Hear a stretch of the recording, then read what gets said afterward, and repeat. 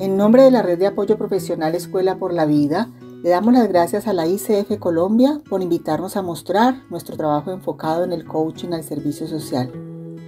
que surge precisamente en un momento sensible donde el mundo entero estábamos viviendo una gran incertidumbre por la pandemia, sumado a las situaciones de orden público en Cali. La Escuela por la Vida nace al preguntarnos tres amigas profesionales qué podríamos hacer desde nuestro lugar para contribuir con un granito de arena y apoyar a la situación actual, y muy preocupados por los altos índices de angustia, de ansiedad, depresión y suicidios que nos mostraba la Organización Mundial de la Salud bajo la mirada preocupante de la doctora Andrea Otero, actual presidente de la Asociación de Psiquiatría, de María Clemencia Torres, teóloga especialista en duelos, y de mi persona como educadora, logoterapeuta y coach ontológico. Y fue así como decidimos tocar puertas, y una a una se fueron abriendo de manera orgánica y generosa. Rápidamente nos fuimos uniendo varios profesionales del desarrollo humano, en su mayoría coaches de la ICF, médicos, psicólogos, psiquiatras, teólogos, comprometidos e interesados en formar una red de apoyo, llegando a ser 70 miembros de todo Colombia. En un momento enfocamos nuestra atención en Cali. Desde nuestra voluntad de servicio, el compromiso, la responsabilidad que sentíamos, la libertad de elegir y de dar desde nuestro ser, saber, hacer, pero sobre todo nos movía el amor a nuestra gente. Buenas tardes, mi nombre es María Isabel Méndez Trepo, el grado 11 del Colegio Monseñor Ramón Avecila. Quiero agradecer a la Fundación Patrulla Escolares y a la Red de Apoyo por enseñarnos en cada clase que cada cosa tiene sentido. Soy Alexandra Acevedo y tuve la posibilidad de participar en la red profesional de Escuela por la Vida. ¿Qué representó para mí estar ahí? Uno, la posibilidad de acercarme a los jóvenes colombianos necesitados, bajos recursos, y realmente poder ser útil en una sociedad que cada vez necesita de más personas para poder salir adelante todos. Siento que como coach acabo de tener una de las experiencias más lindas. Fue volver a retroceder a tener la edad que ellos tenían y a volverme a decir por qué si ellos tienen ese impulso y esas ganas a pesar de las dificultades. Yo veo un noticiero y me impanico, porque en lugar de estar pensando que hay dificultades, nos, saco esas ganas de adentro que estos jóvenes expresaron hoy para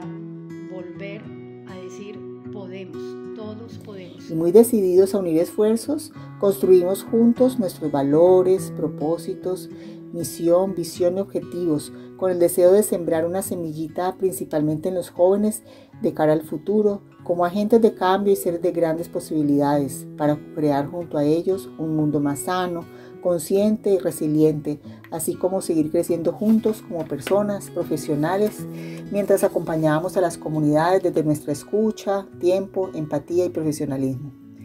Tuvimos la suerte de contar con la colaboración de la Fundación Fundapes, que trabajaba con los jóvenes de los distintos colegios públicos de Cali, que se encontraban en ese momento en sus casas sin escolaridad y viviendo momentos de mucho dolor, desesperanza y miedos. Poco a poco fuimos detectando varias problemáticas que provenían de sus necesidades vitales y emocionales donde se destacaba la falta de su autoestima, dificultades para expresar y de ser escuchados, procesos de duelo sin resolver, pero sobre todo mucho miedo, mucha rabia, desesperanza, que los conllevaba a buscar alivio en las drogas, en los videojuegos, en el alcohol, entre otros. Gracias a la apertura de los mismos jóvenes, de la perseverancia de los miembros de la Red de Escuela por la Vida, de los coaches de la DCF, de los colaboradores de Fundapes y de Newfield, fuimos abriendo espacios para reunirnos los sábados en pequeños grupos, bajo la metodología de escucha y expresión del modelo Conversando de Chile, donde los profesionales y coaches a través de preguntas, cuentos, canciones, generando con ellos un espacio de intimidad, de mayor confianza, así como herramientas de afrontamiento. De igual manera, los acompañamos a través de la virtualidad en charlas, talleres que ofrecían los miembros voluntarios de la red y algunos procesos de coaching individual. Fue un trabajo hermoso, nos despertó la empatía, la compasión, la creatividad, dinamizó nuestro trabajo en equipo, aprendimos de la importancia de la comunicación no violenta como eje transversal de cualquier proyecto, fortalecimos la competencia del coaching, la importancia de gestionar las emociones, de trabajar en la recuperación de nuestros duelos, de encontrar el propósito y sentido de vida y de facilitar el emprendimiento y liderazgo personal, logrando elevar la conciencia y sembrando en ellos y en, nosotros mayor esperanza. Los colegios volvieron a iniciar actividades, por lo cual ya los chicos no pudieron seguir con nosotros en la virtualidad.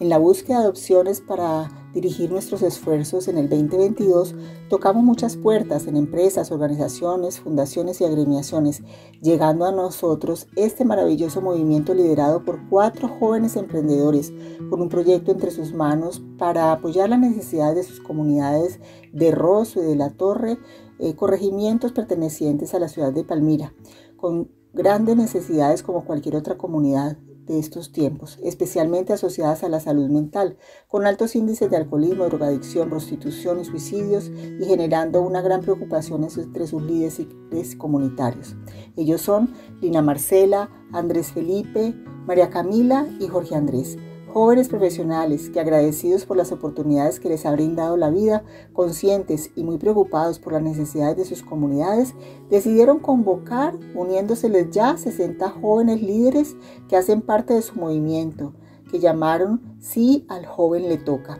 y donde vienen desarrollando proyectos dignos de resaltar como Échale Mente, Escuela de Emprendimiento, entre otros.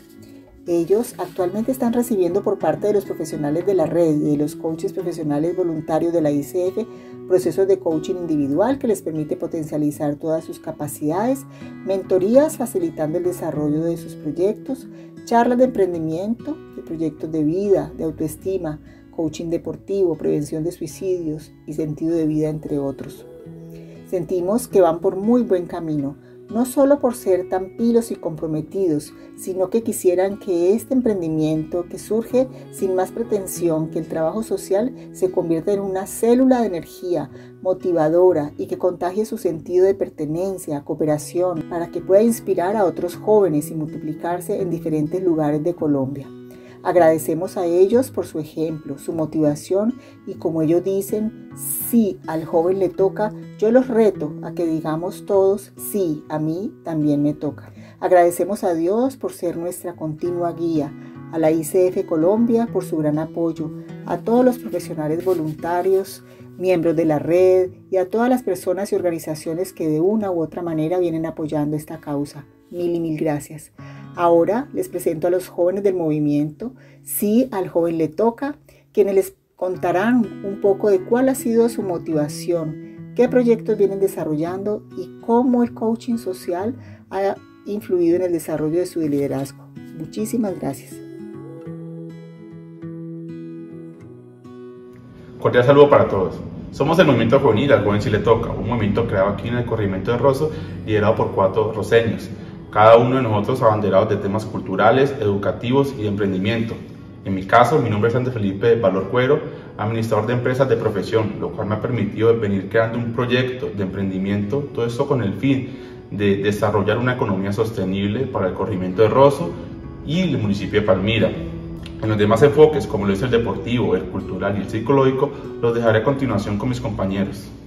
Hola a todos, soy María Camila Varela Díaz, estudiante de último año del programa de psicología. Tengo 23 años y actualmente nos encontramos liderando el proyecto Échale Mente, con el fin de promocionar la salud mental y la prevención del consumo de sustancias psicoactivas, con el objetivo general de concientizar a los jóvenes entre 13 y 17 años de edad sobre el consumo de sustancias psicoactivas, realizando dinámicas que fortalezcan las habilidades comunicativas, sociales y la autoestima.